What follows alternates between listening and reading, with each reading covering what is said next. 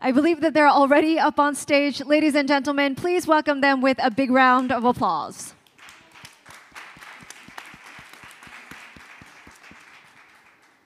Good morning. It's an absolute pleasure and honor to be here today, and thank you for joining this session. We've heard a lot about policy this morning, but now I want to shift the conversation back to what's actually happening on the ground, especially what are companies outside of Korea in the region doing in their sustainability efforts. Recently, the uh, McKinsey published a report and found that climate change and sustainability are the sixth most pressing issue facing CEOs at this time. And it's clear that this is at the front of everyone's mind at the moment. We heard yesterday from many companies who are working on climate change, uh, sustainability. But conventionally, this has been approached from the perspective of risk mitigation and compliance. But increasingly, we are also seeing companies that are taking a different approach and looking at the opportunities that sustainability brings. And that is really the focus of this session today. We want to highlight four companies that are really taking sustainability serious and are implementing innovative solutions. And they are here today to share some of these examples and their approaches. So let me briefly introduce my panelists.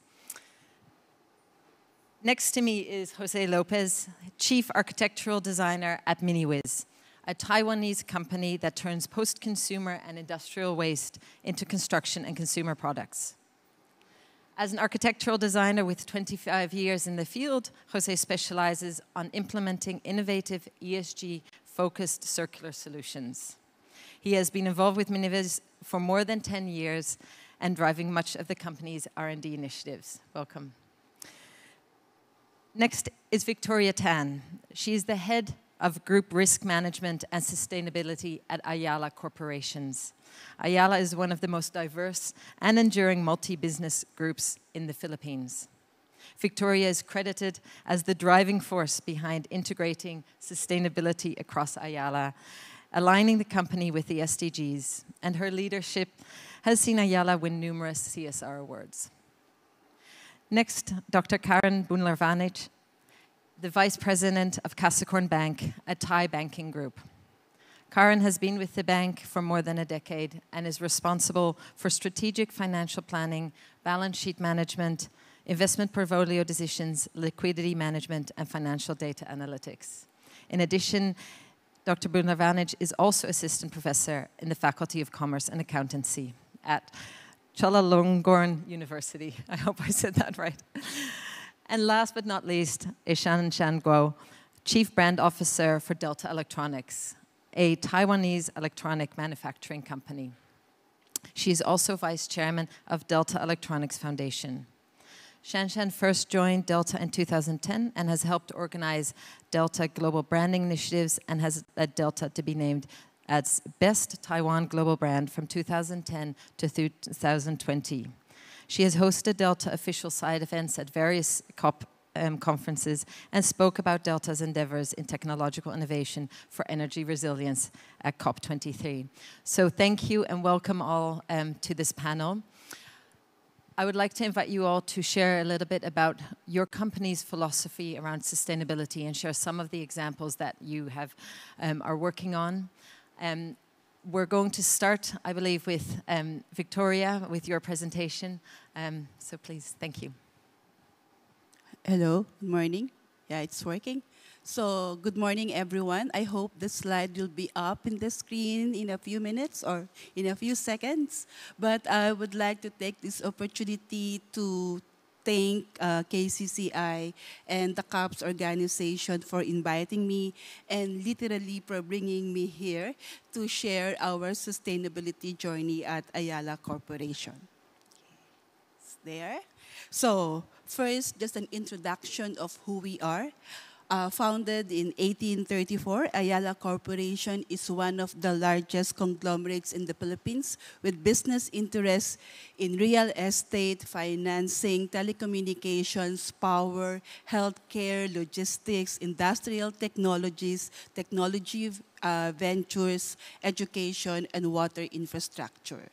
For the last 189 years, our portfolio of businesses provide various engine for growth and value creation with the objectives of improving lives and supporting the national development agenda through focused uh, execution, transformation, and leadership in sustainability.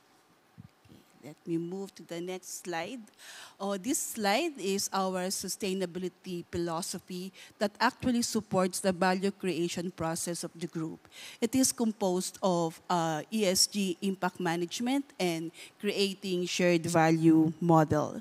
ESG are hygiene factors that are increasingly becoming critical or important to our stakeholders.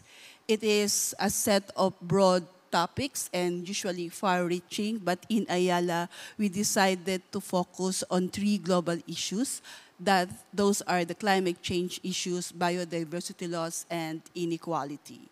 On the other hand, the creating shared value concept actually allows us to address societal challenges by bringing an innovative model up to a scale and through a viable business financial uh, proposition. So taken together, the philosophy ensures that we remain a responsible organization while positively contributing to the social development goals. The next few slides, I will talk about our climate ambition. So we announced in October 2021 that we are committing to achieve net zero greenhouse gas by 2050. To support this ambition, we engaged South Pole, a leading global uh, climate service provider, to help us develop the roadmap for the business unit and also for the parent company. In line with best practice, we will account for our uh, GHG, looking at the six greenhouse gases as outlined in the Kyoto Protocol and uh, going through all the different emissions, scope 1, scope 2, and scope 3. I know you will agree with me that the most complex one is scope 3, and we are expecting that scope 3 will make up the majority of Ayala's footprint. Now, where we are in our climate ambition, and that would be the next slide. Uh, here we are in our climate ambition. Two of our core business drivers actually developed their roadmap last year, and that is Ayala Land and the Energy Group. We expect that Globe, our telco company, and BPI, the bank, will also complete their roadmap by the middle of this year. And the rest of the portfolio that I mentioned a while ago will also embark on the same work stream so that we can have a complete roadmap for the parent company. So while we are developing that roadmap, we already have made some strategic decisions in relation to climate. We can cluster the the, the strategies into three. The first one is around reduction strategy. So with our renewable energy platform, we are actually supplying our business units and our customers with RE. We are also encouraging our business units and other uh, businesses to have or to install on-site renewable energy. And we also have a capacity for that. Uh, we are deploying energy efficient uh, measures and other technologies. And one of our companies in Ayala is also uh, has a capacity or developing energy saving devices. And then we are supporting the electrification of the transport sector and I will discuss that in the following slide. And to close the whole reduction strategy, we just acquired uh, two waste management companies last year. So the second cluster of strategies around offsetting and carbon capture um, storage solutions, we are still very early in this particular space. But the last one is our investment in nature-based solutions. So we have a project in one of the islands of Luzon. It is a forest protection and biodiversity conservation um, initiative. It, it is about 32,000 hectares of forest and it will actually um, uh, benefit 2,500 families. That particular project is employing the UN REDD Plus methodology so that we can actually have a good quality carbon for the carbon market. And again, in the I think in this last, hmm, wait, in this slide, these are the two initiatives where we think there will be a lot of opportunities for the group. The first one is our renewable expansion in the region. So our ACEN or our AC energy platform has wind, solar, geothermal presence or operations in Indonesia, Vietnam, India, Australia, and recently we announced that we will be building a solar power plant in Laos. Uh, is also the first first company in the world to implement an energy transition mechanism for its coal-fired power plant. And then the other sector that we are really supporting is the uh, elect electricity mobility sector. So just like I think we have heard a while ago that there's a lot of installation of EV chargers, we are also doing the same. We installed EV chargers in our uh, estates, developments, projects, malls, hotels, and other buildings. And uh, we are uh, distributing EV6 car from Kia, the first electric uh, uh, vehicle from Kia. Yes, we are a distributor of Kia in the Philippines, and we see that there's a lot of interest in relation to EV6. And then this year also, we will be starting on our battery swapping initiatives, and that is with Gogoro of Taiwan. And just this week, our chairman signed an agreement with an American company so that we can manufacture electric motorcycles in the Philippines. And I guess all of this is in support of the nationally determined contributions of the country. I've been hearing that since yesterday and just a while ago during the panel. And I realized that our target is so high. The average is about 40, 43, but the Philippines is committing to a 75% GHG reduction and avoidance target by 2030. So all of this is in support of that NDC, and this is also a way of Ayala to make sure that we are protecting the well-being of the future generations of Filipinos. A climate strategy that is aligned with the national strategy will not only benefit Ayala, but the entire Philippines as well. I think I have to stop there, and I will turn you over to Annelotte. Thank you. Thank you, Victoria. And I'd like now now like to invite um, Karin to speak about um, um, efforts. Yes, thank you, thank you, Dorothy. Um, let's put up the slides. Um, first, I would like to thank um, KCCI and also CAPS for inviting our bank and myself to share what we have done and um, under the themes of opportunities and um, how can uh, banks. We have heard from last panel that um, uh, in Paris Agreement, actually the financial flow is one of the enablers for ourselves to transition toward the sustainability uh, uh, economy. So first, uh, before we move on to details, next slide, please. Um, yeah. Okay. Um, on the climate change impact, um, uh, people have talked about the impacts of it, and then um, actually Thailand is ranked number seven uh, based on the impacts from the, the climate-related hazards. Okay, even though our GDP is actually a lot less than China or the, uh, Korea or Japan, but uh, we are ranked number seven in Asia here. That is why, from Thailand's roadmap, I think similar to many countries here, um, we aim to reduce the, the, the carbons um, 40% within 2030, and then reach a carbon neutral in 2050s, and then net zeros in 2065. Um, for our bank, um, just a little about our, our bank here, we are uh, ranked number two in terms of asset size in Thailand with about 125 billion US dollars um, asset. Our goal here is that because we are a bank, we, we do not emit, emit much of the carbon. So our net zero goal will be in 2030 for ourselves. The more challenging, as Ayala has said, is about um, the scope three. And then um, we would like to, to make sure that um, we and our countries and our clients can move together toward that uh, net zero target on the scope three. On um, the the, the, um, the awards, whatever, um, we have one thing I would, I would like to mention is about the DJSI. We are the only one bank actually in Asia, in ASEAN, that uh, will be ranked within the DJSI World and also DJSI Emerging Index. Okay.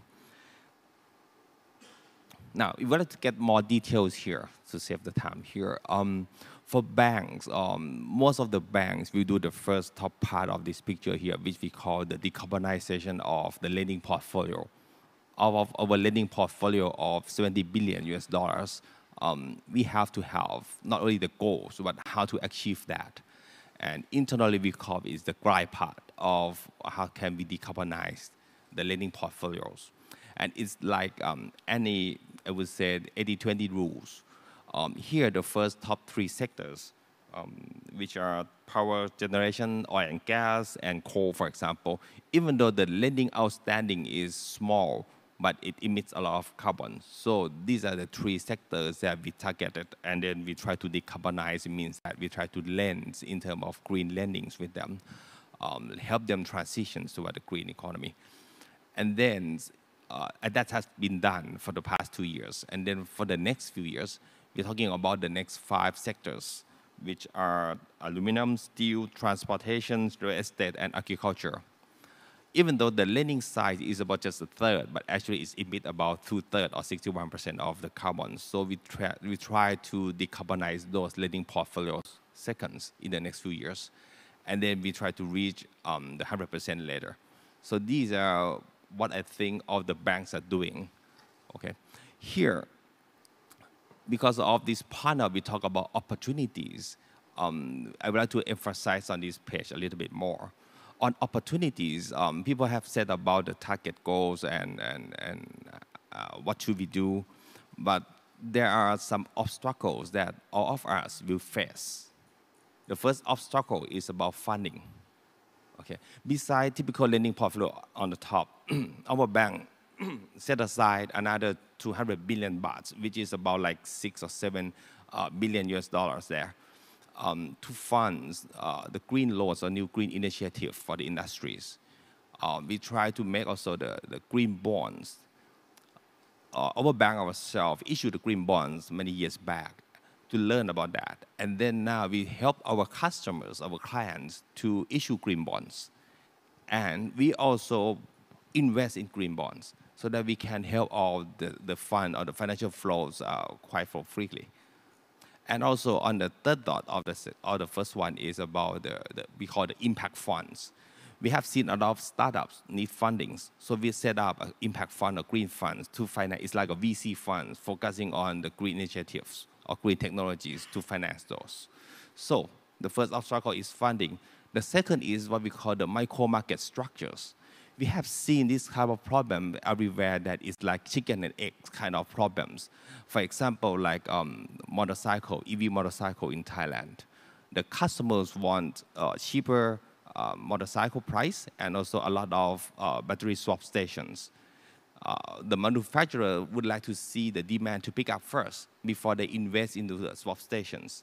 We see this as opportunities. We have a platform called WhatsApp and WhatsApp is like the other countries is a, is a battery swap station for the motorcycles. Because in Thailand, actually 2025, all the new motorcycles have to be EVs. We have seen that, and then um, it's a chicken and egg problems. And then we, as a bank, which has lower cost of funding, we can finance those uh, ecosystems by ourselves. And the third obstacle that we will face is knowledge. So we help the Bank of Thailand and many other regulators to help define what we call the green taxonomies so that the data flows can be, would say, uh, aligned all together. And also uh, avoid the greenwashing kind of thing or different shade of greens. So we help the governments uh, to define the green taxonomies. And also on knowledge, we have seen that um, we would like our customers to transition, I mean, to, to, actually, uh, to get the cheaper and greener energies, which is the solar uh, energies. But um, we don't want them to be in debt more.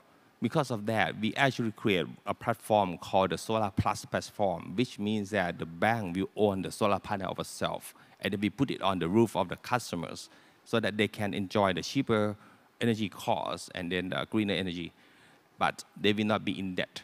So that kind of things um, is what we have done.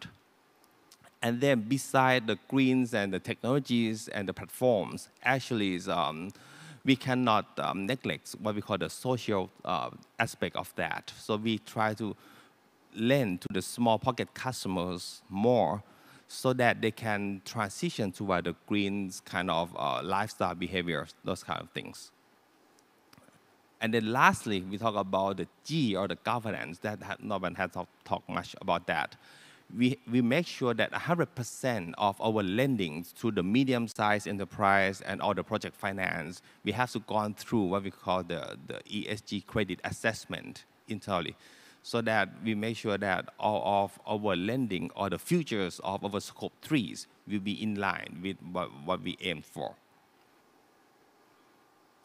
And in the summary here, um, for us all, I think we have to balance the balance between the technologies and the costs, and also the balance between the short-term um, uh, shareholders profitabilities and the long-term sustainable economies, those kind of things. We think that um, uh, it's just the way that the bank can help also the real sectors and the public sectors to transition and to balance these kind of things. Yeah, thank you. Uh, thank you, Karin. It's great to see how um, the bank is going above and beyond what what um, what we often see, um, but also that the need of balancing some of these um, cost and opportunities, something that we'll talk a little bit more about in the discussion later. Thank you. Um, next, I would like to invite um, Shan Shan to speak a bit about Delta Electronics. Thank you. And um, first, I would like to thank CAPS and KCCI for inviting Delta to have this opportunity to share how um, Delta focus on sustainability and turn it into a business opportunity. And uh, first, I would like to uh, introduce Delta a little bit.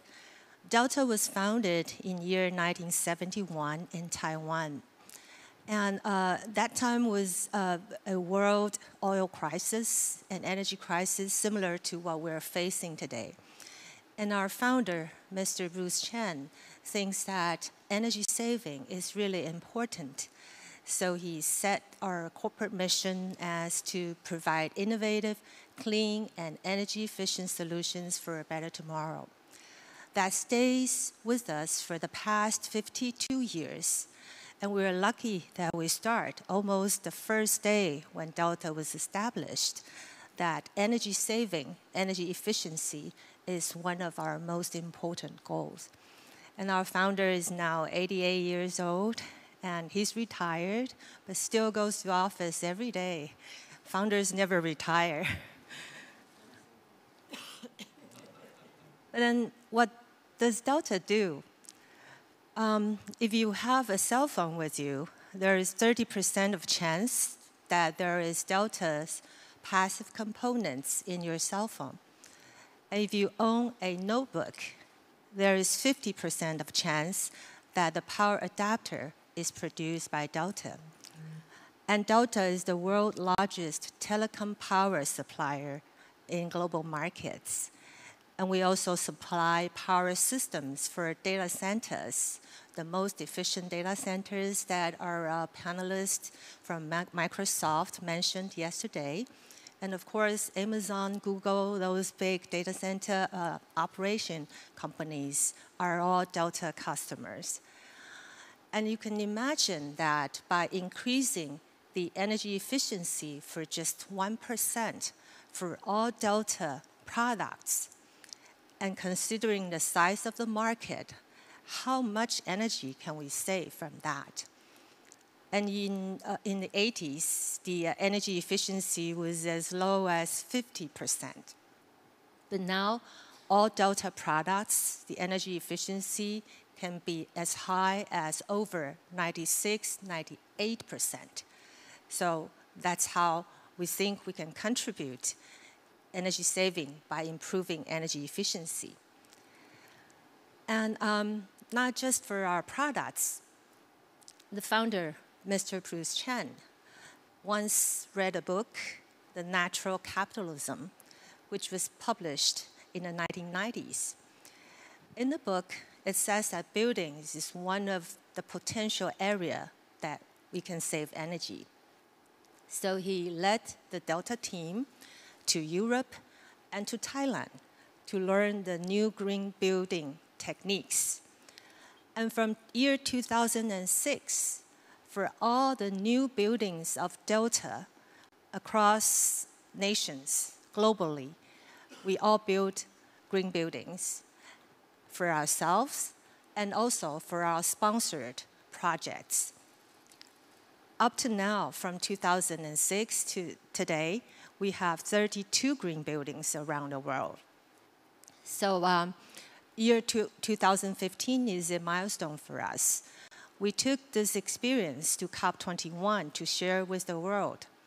And um, the world has huge response, and they all look forward to have green buildings. And then we re-examine and see this is indeed a good business opportunity. And we started to build a um, business unit, a business group, building automation through a lot of uh, merger and acquisitions and our own product and capabilities. And now using Delta products, you'll be able to get 50 points out of 110 for LEED certification. And it's 80 points out of 110 for LEED certification if we integrate with our partners. And here, um, I would like to highlight two green buildings in this chart. One is our um, headquarters in the United States in California, who just got the zero energy certification from LEED just this week. And um, another one is called Magic School. It's a donation project to Kung University. And it has been listed in IPCC's AR6, which was reported yesterday, as one of the seven model buildings in the world in terms of energy saving. So um, this is a perfect example to illustrate how it can start from, it started with a goodwill, a good intention to save energy, to protect the environment, but then later on became a very important business opportunity for Delta. In addition to building, we heard earlier the ambassador from Australia mention that transportation is the second largest emitter in terms of carbon. And um, Delta is committed into that area.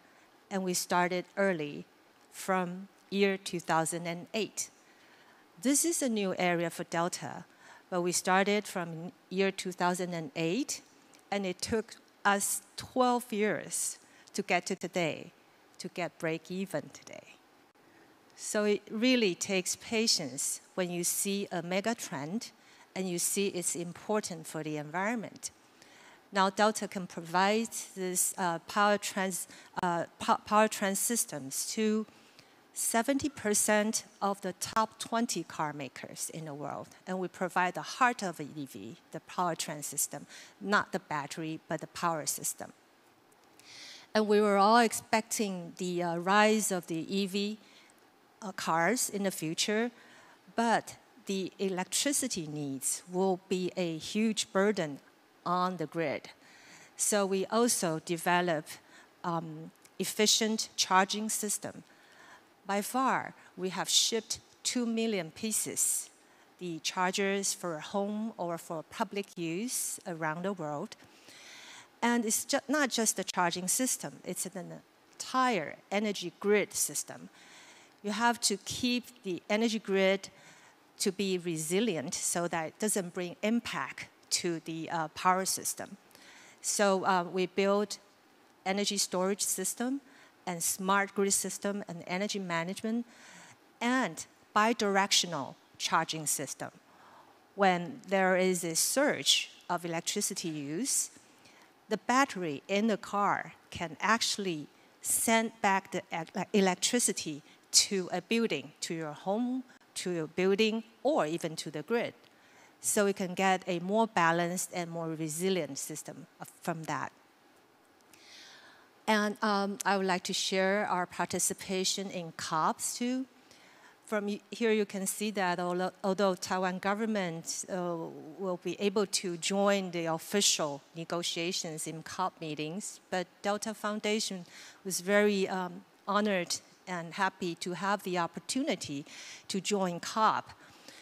And uh, we started from year 2009 and uh, from then on, we have hosted 16 side events, including COP21 in Paris, where um, our founder, Mr. Bruce Cheng, hosted the official side event to talk about green buildings. Our CEO and I spoke at German Pavilion. And in the following COP events, we share experiences in distributed energy infrastructure, in EV, and in a lot of uh, practical experiences that Delta can provide the technology so that we'll be able to communicate and share that experience to the world. And finally, I'd like to share our, our participation in global initiatives. Delta joined RE100 uh, by the Climate Group in year 2021 and commit that we will achieve 100% renewable energy by year 2030. And we even go further to commit carbon neutrality by that year. And we also commit by year 2050, all our global operation will be net zero carbon.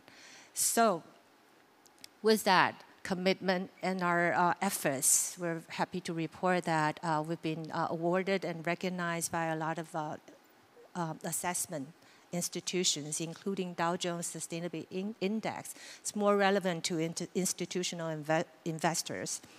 We've been picked, um, selected as the World Index for 12 years and had the best score in the industry for past four years in a row. And also CDP Carbon Disclosure Project. We got an A grade for the past three years in a row. So that's basically the simple background I'd like to share so far, and we look forward to more exchange of opinions later on. Thank you. Thank you, Shan Um, it's clear that um, Dr. Um, Mr. Cheng had, was very visionary back in 1971, and as a result, you're very much ahead of many other companies um, in this space. So thank you for sharing that. Um, last but not least, I'd like to invite um, Jose to share a bit more about Hello. MiniWiz. Hello. Thank you. First, um, I would also like to thank KCCI and CAPS for inviting us for this opportunity to share our improvements or uh, the way we try to accomplish and accomplish ESG solutions. But first, I would like to tell you a little bit about MiniWiz, a company that started with uh, started with the idea of creating buildings, but uh, like a car with the latest technology, the latest software but with the goal as well of having the lowest carbon footprint and made with 100% recycled material. Then 12 years ago, we created EcoARK, the world's first zero carbon footprint building. And after many patents and achievements, we have, becoming, we have become one of the leaders in this field. In a time where 60% of all, all, all, global carbon footprint emissions are for the building trade only, embedded in the building as well as in its operation. MiniWiz, a circular upcycling tech pioneer with the sole goal of radically changing and cutting carbon footprint emissions by transforming single-use uh, waste into high-performance building material. And therefore, at the same time, empowering ESG governments and developers. But a little bit of uh, a showcase since um, sometimes images does more than words. Let me show you a little introduction of what we do.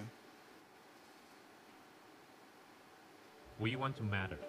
We want to matter to the non-toxic future of our world. We want to matter to the sustainability of our community.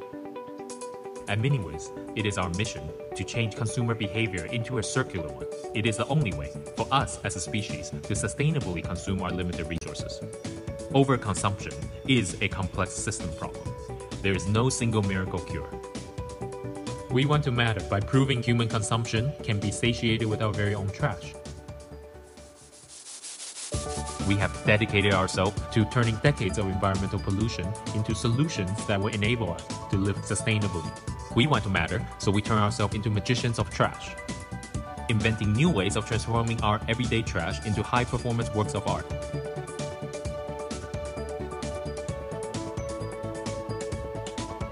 We turn milk packaging into the hottest sportswear fashion, plastic bottles into luxurious textile, cigarette butts into furnitures and glasses, using fashion and apparel waste into luxurious home furnishings, masks, PPE into cell phone chargers, single-use medical waste material into hospitals, using smart AI technology to make decentralized recycling upcycling possible today. We head to Taiwan for this report, a company designing solutions to overcome a mounting problem of a mountain of trash.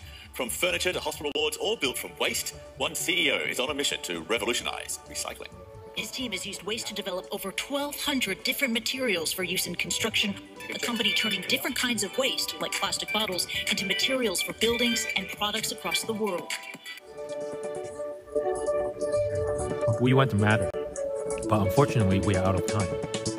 Please join us in upcycling today's local pollution into circular ESG building solutions of the future.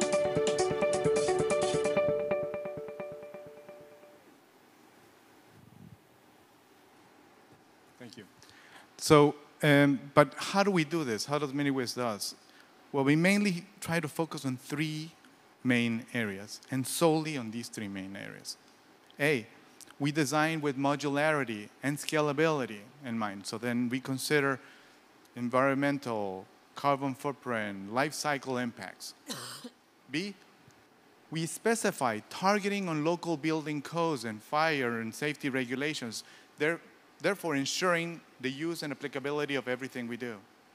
And see, well, sometimes the technology in manufacturing is not there yet.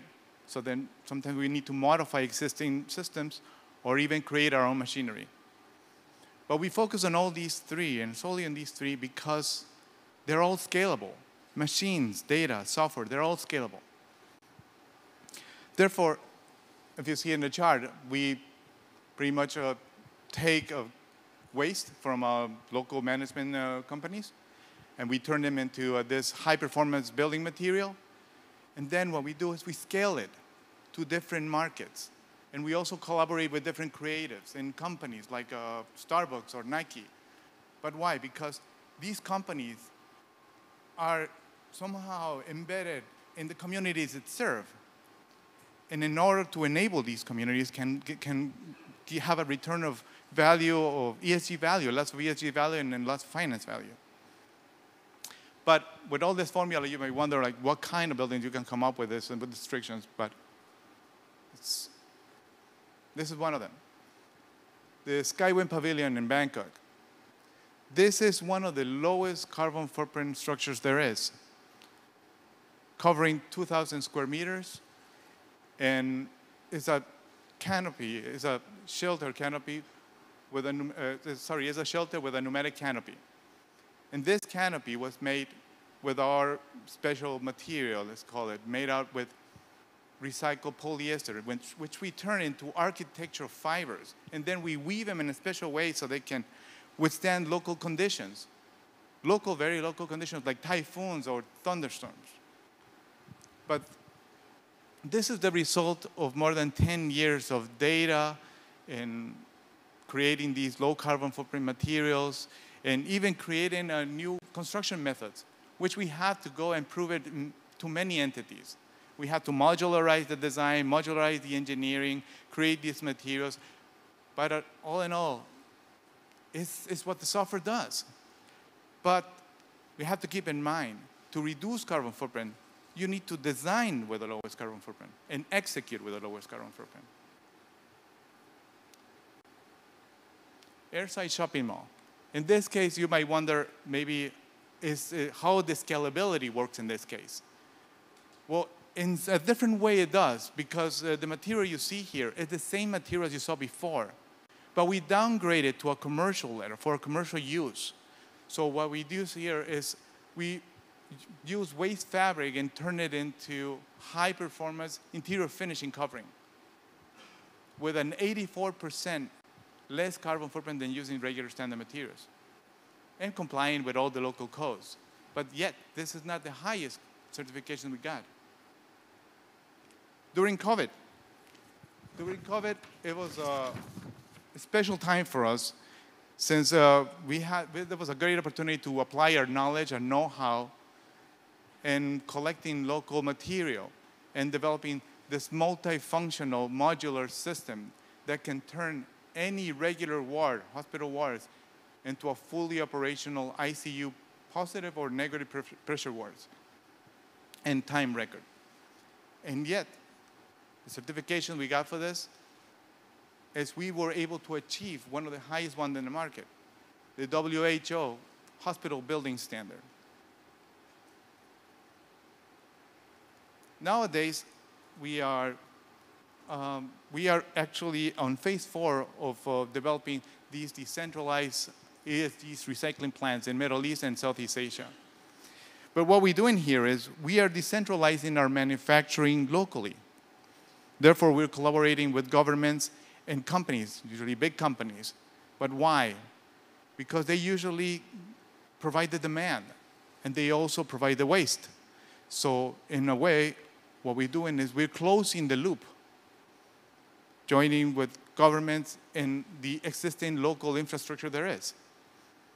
Like in this case, we were able to achieve 14 UN Sustainability Development Goals.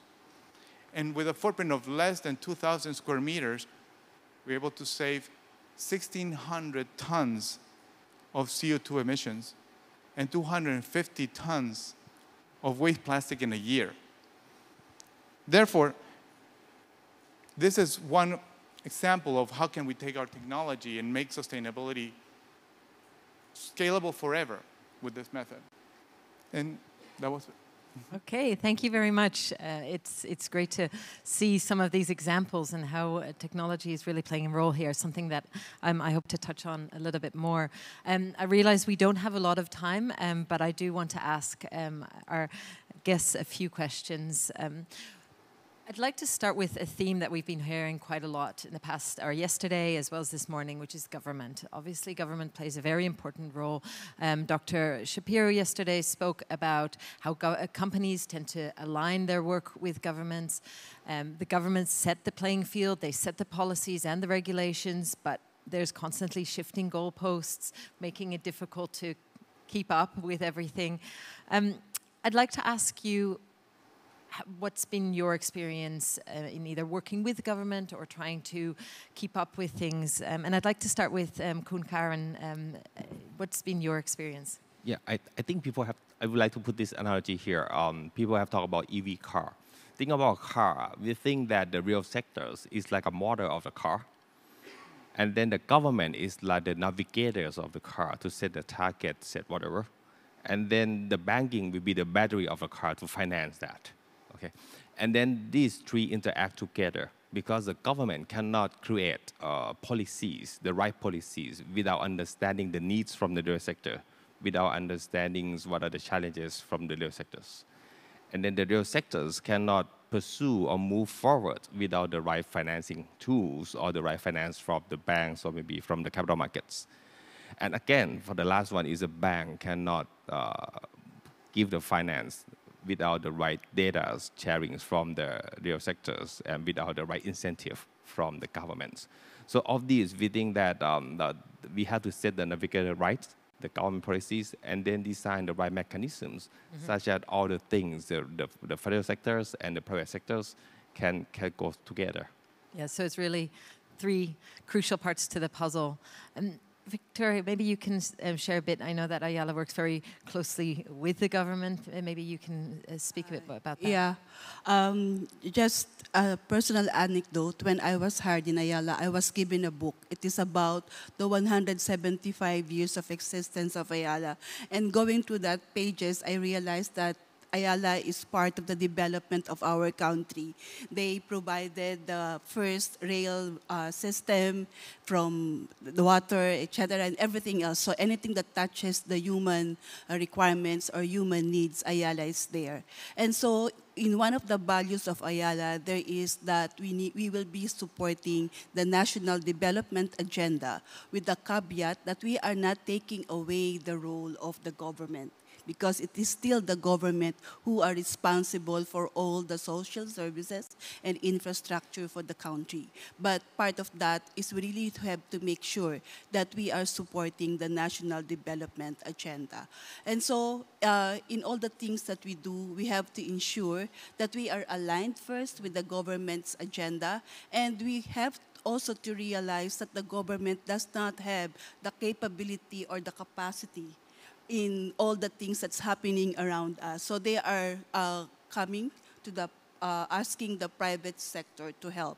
So a perfect example is during COVID. So they have this interagency uh, task force for COVID, and one of the things that they ask is to uh, for Ayala to provide uh, um, advices and also to be part of that whole strategy to combat COVID in the Philippines. So it's working with the government, it's something that we have to do because they provide us the enabling environment. An example is in the EV space. That's why there's a lot of interest to get that EV6, the Kia Carnival or the Kia car, because the government is giving incentives. There will be no taxes if you mm. will be buying an EV car. And then we have a crazy rule in the Philippines because of traffic that you, depending on your plate number, you cannot go in the road or outside of your house. So, but if you have an EV car, you can go out of your house anytime, any day. So that's actually is a,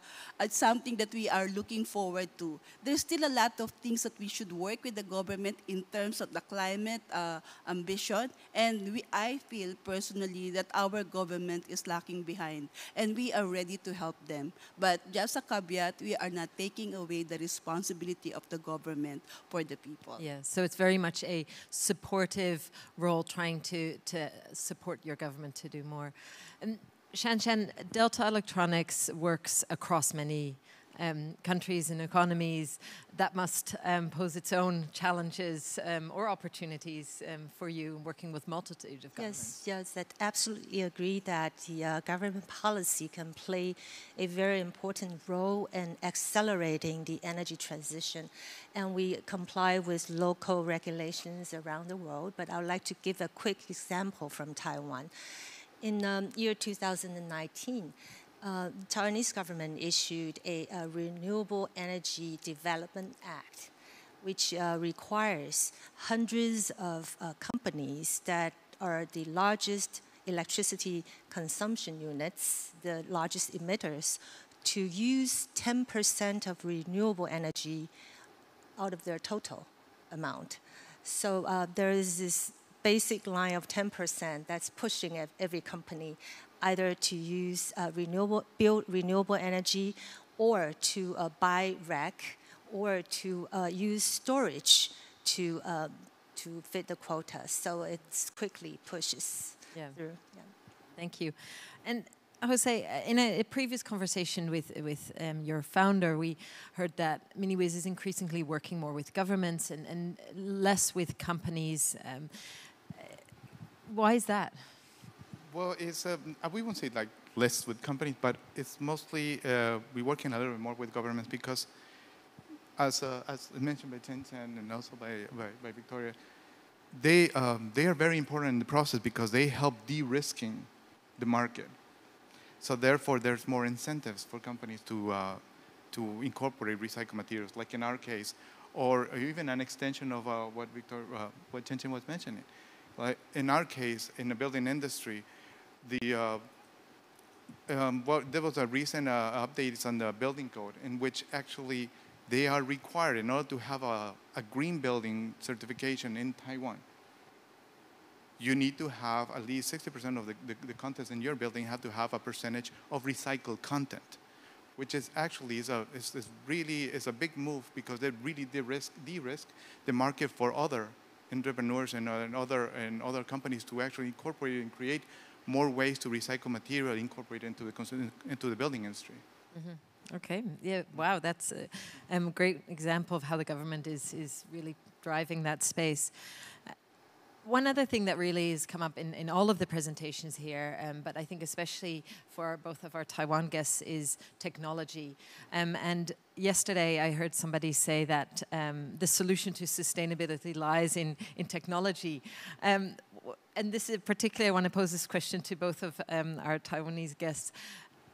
Is that true? Do you think that technology is the panacea? Is it really the, um, the solution to everything? well, not everything, to, to, sustainability. I would say maybe you would like to start here. No, I just wanted to make a, a, little comment that actually can summarize my, my, my point of view on this. Is uh, the technology exists. I mean, the science exists. Everybody knows technology. The technology is there, and the technology is not the problem.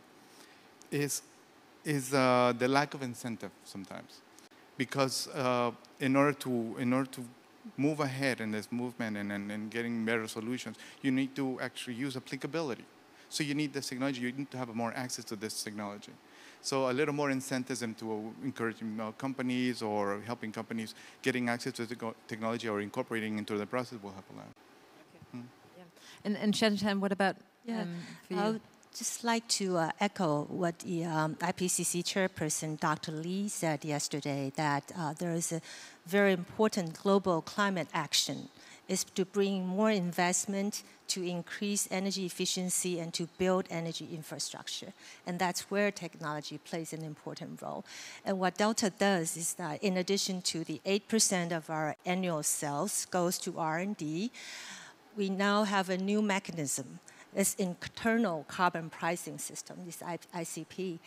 And we set our internal carbon pricing at 300 US dollar per ton which is a very high, uh, relative high compared to other companies. And it was quite incredible to many people say, how did that happen? And the rationale behind that is we make a forecast of the energy price in year 2030, if that's our goal.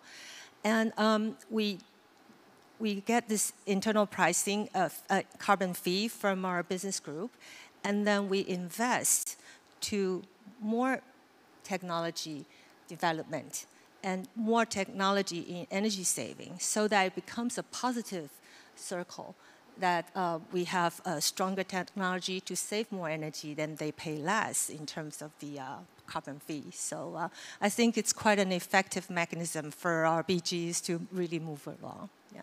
So more, more de-risking, more investment, more technology. We need to see a lot more of that. I, I also want to pose a slightly different question to um, Victoria and Karin.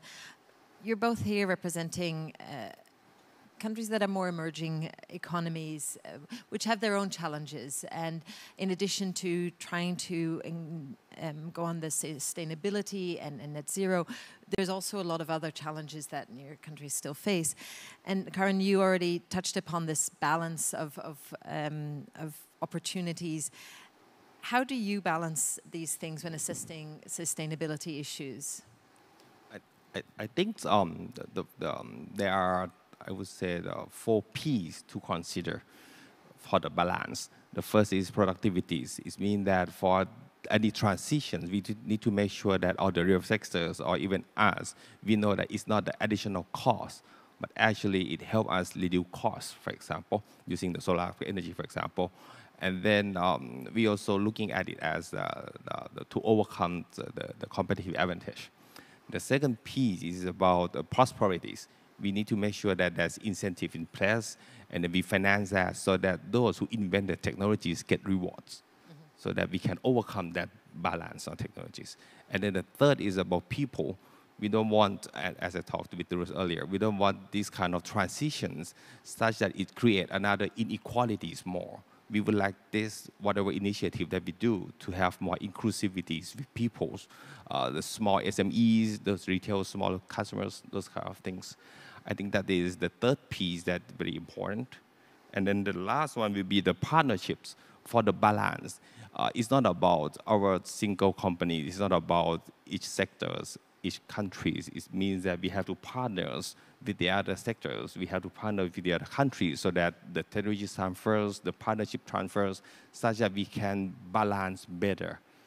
So it's the productivities, prosperities, people, and also the partnership that we think that we can help balance those kind of things. Yes. Great, the four P's. I'll remember those. Uh, probably in the case of Ayala, I will go back to our sustainability philosophy, and that is composed of the ESG impact management and the CSV, creating shared value. It is a concept that my chairman borrowed from Harvard, and this is really looking at the societal gaps, and within our capability and resources, we have to come up with a business model, bring it up to scale, and there should be a financial viability in all those uh, uh, uh, initiatives. Otherwise, it will become a CSR and it will not be sustainable in the long run. And this philosophy or thinking actually made us invest in the energy sector because in the early 2000s, that's where the problem of the Philippines uh, was. I think even now, but uh, th that is a conscious decision to support the company, uh, the country in terms of energy, and also we have investment in the education education sector.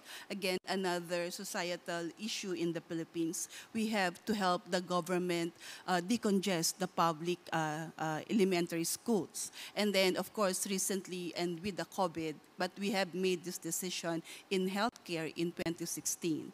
Our healthcare system is so broken.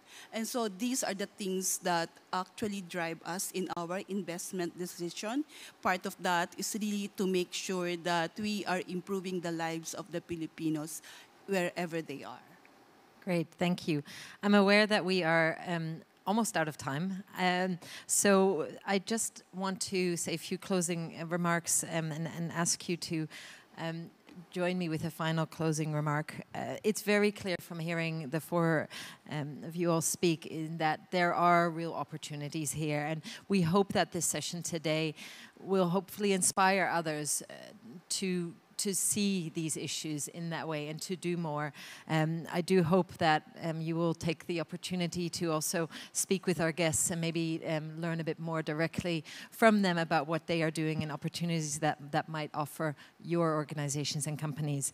Um, but before I close, I would want to just ask a very quick question to all of you, and that is, what is your call to action to share with others that are in this space, in this journey, what is there, what is your call to action to them? And I'll just start here, Jose, with you and go down that way. Well, uh, my call to action would be is in order to find ESG solutions, you have to go back and see yourself first. So then, as I mentioned before, you know, it's just like a simple concept of to think about reduce carbon footprint. You have to do everything, design it with a lower carbon footprint, execute with a lower carbon footprint. It's the same thing as uh, cleaning your house. You, you, still do it, you do it yourself first in order to portray it and actually reciprocate that. Mm -hmm. Okay, thank you. Victoria? Uh, the climate change is not just the issue of the government or nor the private sector, it is the issue of every one of us. So the call to action is let's start uh, loving our planet, uh, helping it heal. And let's start to do the low, the transition to the low carbon economy one household at a time, one company at a time, and one government at a time. And I guess that's the only way for us to solve this global issue of climate change. Thank you. Um, yeah. Karin? Yeah, for me, I think uh, we have talked about carbon footprint. I, I would like to introduce the word carbon handprint, which means that how can positive things that we can do to the societies, to the environments, such that uh, uh, we all can create all the carbon handprints together. Yeah. I like that, the carbon handprint. Shan Shan? I'd like to give two quotes from my founder. First one is, an enterprise exists in a society it's a part of a society. So corporate social responsibility is really important. And the second one is, if you do the right thing, eventually you will make profit. And to answer the question from previous panel, that if you are happy with 10% of business growth, we're happy to report that we had achieved a double-digit growth last year. So we really like to partner with our uh, Korean friends here. Thank you. Wonderful. Um, thank you all for, for joining me today. It was fantastic to hear all about your company's philosophies and the initiatives you're taking. So thank you very much. And I believe now it's time for lunch. I'm sure you're all excited about that too.